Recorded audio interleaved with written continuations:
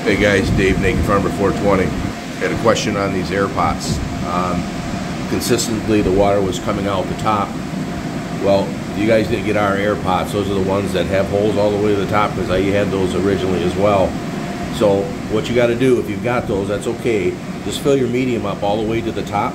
Don't pack it down. Just fill it all the way up to the top and start feeding in the center of your plant. That medium will pull in, but it'll also will seal the edges a little bit better.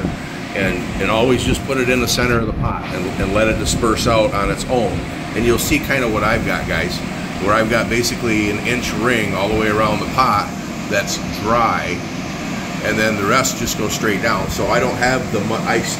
Obviously, you have leakage at the very beginning because you're developing the roots. But once those roots are developed, they plug, and it creates this. So that that will help, uh, and you don't have to worry about overfeeding these neither.